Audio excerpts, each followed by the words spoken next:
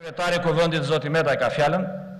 Përplasje të ashpra politike në Parlament në emër të debatit për imunitetin e deputetëve Tom Doshi dhe Mark Frroku. Sipas ish-kryeministrit Berisha, mazhoranca po tenton të mbrojë kryetarin e Kuvendit Ilir Meta e jo të zbardhë të vërtetën.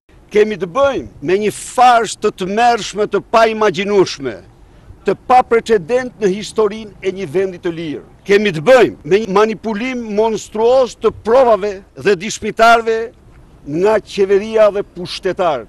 Por për kryeministrin Rama i cili mbajti një fjalë të gjatë pas miratimit të kërkesës së prokurorisë, Partia Demokratike me qëndrimin e saj, tregoi se është kthyer në zëdhënëse të një gangsteri nga Fushë-Kruja.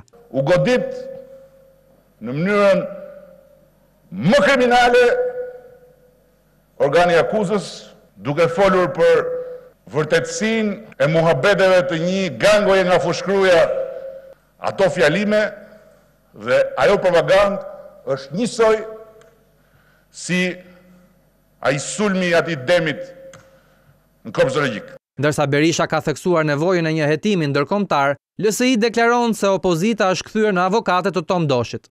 Kjo është një çështje të cilën asnjë prokurori nuk e përballon dot, ndaj dhe hetimi ndërkombëtar. E mbyllin vetëm për fytyrën e nxirë të Ilir Metës.